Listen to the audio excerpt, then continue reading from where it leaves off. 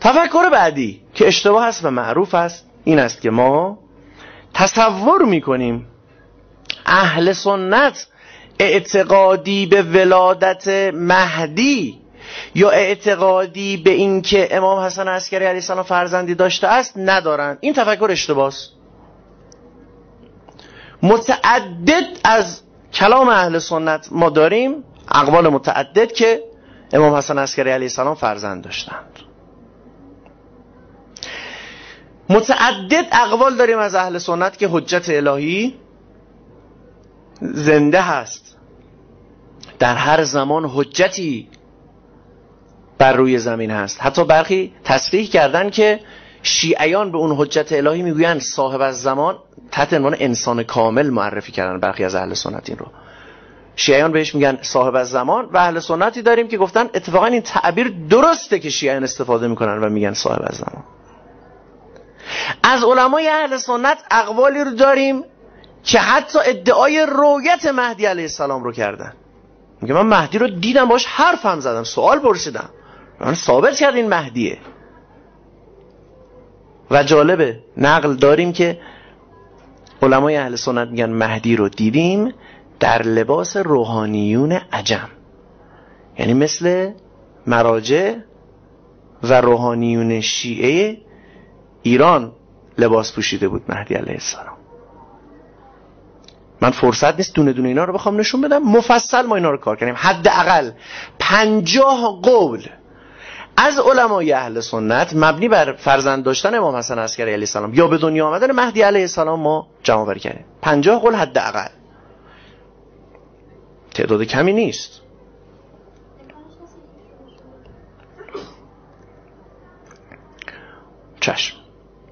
همینجا در زیل همین میگم.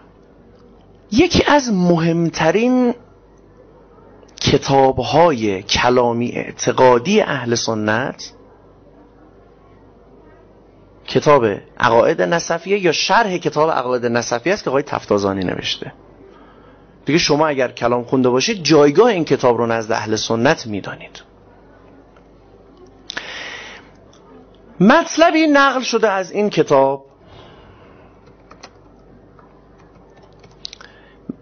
که متاسفانه این کتاب که می‌خوام ازش مطلبی رو نقل بکنم در خصوص شرح عقاید نصفی های تفتازانی این کتاب الان چاپ نشده و ما این رو از PDF نسخ خطی کتابخانه عربستان سعودی تهیه کردیم این کتاب رو. همین الان هم شما برید می‌تونید این کتاب رو پیدا بکنید. توی اینترنت PDF ش هست. کتابی هست به اسم مشارق الانوار فی آل البیت الاطهار. که نویسندش جناب آقای اجهوریه.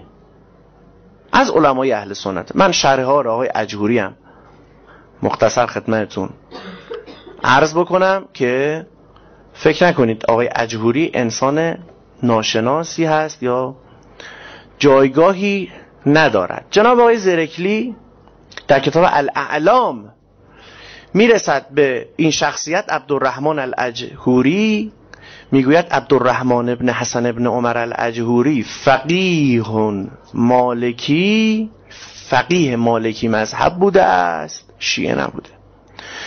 من اهل مصر دخل الشام و زار حلب و عاد الى مصر فدرس فی الازهر الى ان توفیه.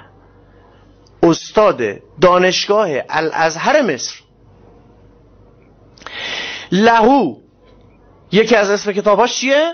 مشارق الانوار مشارق الانوار فی آل البیت الاخیار. اسم یکی از کتابهاشونه. خب ما میریم سراغ این کتاب. کتاب مشارق الانوار فی آل البیت الاطهار. جناب آقای اجهوری. مطلبی رو ایشون نقل کرده. فکر می‌کنم صفحه آخر. بله صفحه آخر کتابشون هست. دقت بفرمایید. ایشون میگه قال از سعد و تفتازانی فی شرح عقاید نصفی. از آقای تفتازانی نویسنده کتاب شرح عقاید نصفی می‌خواد مطلبی رو نقل بکنه. ان المهدی ابن حسن الاسکری ابن علی النقی ابن محمد الجواد علی الرضا ابن موسی الکاظم ابن جعفر الصادق ابن محمد الباقر ابن زید ابن علی گفته و اشتباس این زید زین العابدین زین رو ظاهرا زید دیده. چون زید ابن علی پدر امام باقر علیه السلام نیست برادرشون. محمد ابن محمد الباقر ابن زید ابن علی ابن علی زین العابدین یک اسم زید اشتباهه. هیچ احد ناسی نمیگه که زید ابن علی پدر امام باقر علیه السلام. هست طبیعی این اشتباهات ممکنه پیش بیاد توی نسخه برداری. ابن علی زین العابدین ابن الحسین ابن الامام. علی کرم الله وجهه. مهدی کیه؟ فرزند حسن عسکری که به امام علی کرم الله وجهه می‌رسد. آقای اجهوری از کجا نقل کرده؟ این فقیه مالکی استاد دانشگاه الازهر از کتاب آقای تفتازانی شرح عقاید نصفیشون. و متاسفم از اینکه این عبارت الان در کتاب شرح عقاید نصفی وجود نداره. چه بسا اگر همین عبارت در این کتاب میماند الان بسیاری از اهل سنت با شیعه در مورد مهدی هم عقیده می شدند